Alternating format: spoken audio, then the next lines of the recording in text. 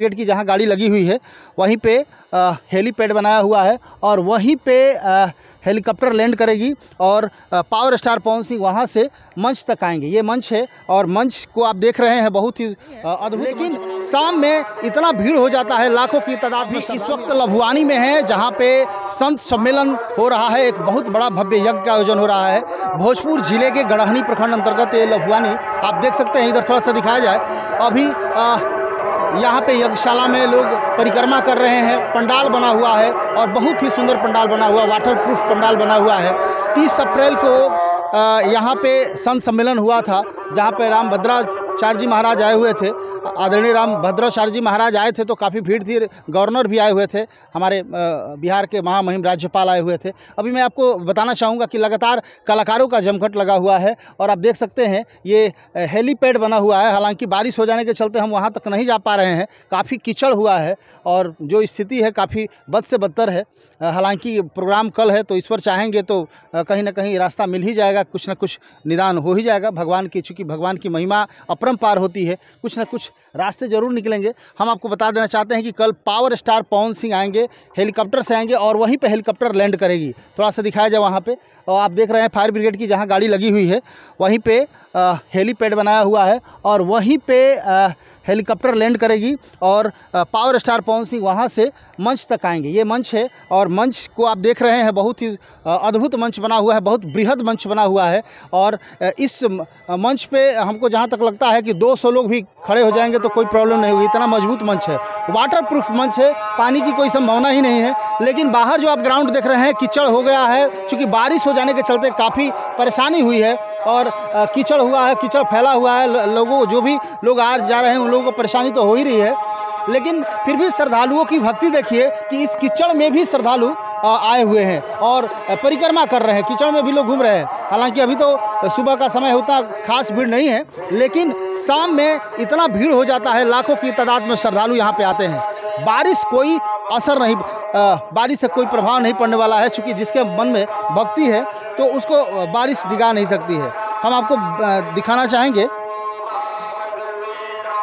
हम आपको बता देना चाहते हैं कि पावर स्टार पवन सिंह का कल लभुआनी में आगमन है और कार्य जो विशाल संत सम्मेलन, लक्ष्मी नारायण महायज्ञ सह माँ भगवती प्राण प्रतिष्ठा महोत्सव 2023 जो गढ़हनी में हो रहा है, लभुआनी में, ग्राम लभुआनी है लेकिन जो ग्राम पोस्ट है, बनकट है, थाना गढ़हनी है तो गढ़हनी के अंतर्गत लभुआनी आता है। कार्यक्रम का जो पावर स्टार पवन सिंह का आने का जो शेड्यूल है, मैं आपको बता दूँ कि अयोध्या से लभुआनी की ओर प्रस्थान 11 बजे करेंगे पवन सिंह।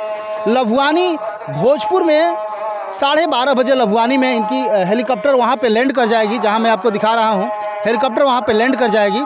उसके बाद साढ़े बारह बजे उनको वीआईपी कक्ष में विश्राम एवं जलपान के लिए ले जाया जाएगा। साढ़े बारह से बारह चालीस तक का उनका प्रोग्राम है, जो विश्राम कक्ष में जलपान वगैरह करेंगे।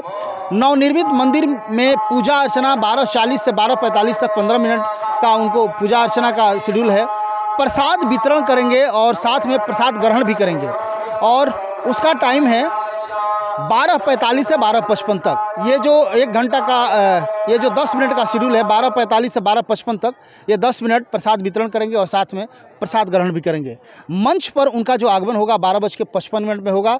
बारह बज के पचपन मिनट से लेकर एक बजे तक उनका मंच पर आगमन हो जाएगा। स्वागत एवं सम्मान समारोह भी होगा उसी वक्त। मंच पर भजन कीर्तन का कार्यक्रम होगा। पावर स्टार पवन सिंह पूरे भक्तिमय वातावरण कर देंगे लभुआनी में और ज़बरदस्त तरीके से उनके भक्ति गीत को देखने के लिए यहाँ पे श्रद्धालु उमड़ने वाले हैं और उम्मीद लगाई जा सकती है कि लाखों की संख्या में कल श्रद्धालु आ सकते हैं। चूँकि कल तीन मई है, कल पूर्णाहुति भी है और उसी दिन power star Pawan Singh helicopter से लभुआनी में लैंड करेंगे। मंच पर आगमन होगा। मंच पर भजन कीर्तन का कार्यक्रम एक बजे से लेकर एक बज के पच्चीस मिनट तक, लगभग पच्चीस मिनट का इनका कार्यक्रम है और इस पच्चीस मिनट के कार्यक्रम में लाखों लोगों को झूमने पर मजबूर कर देंगे और भक्तिमय माहौल तो यहाँ पे शुरू से ही लगा है। मैं आपको बता दूँ कि एक एक्स्ट्रा शेड्यूल भी इसमें ऐड हो गया है। लभुआनी से इनके इनका जो हेलीकॉप्टर है फिर इनके गाँव जो कहरी में हेलीकॉप्टर का जाना तय हुआ था। हालाँकि बातचीत के दौरान पता चला कि हेलीकॉप्टर जो कहरी में लैंड भी करने वाला था, वहाँ पे भी हेलीपैड बनने वाला था, लेकिन किसी भी तरह का उनको सहमति नहीं मिल पाया।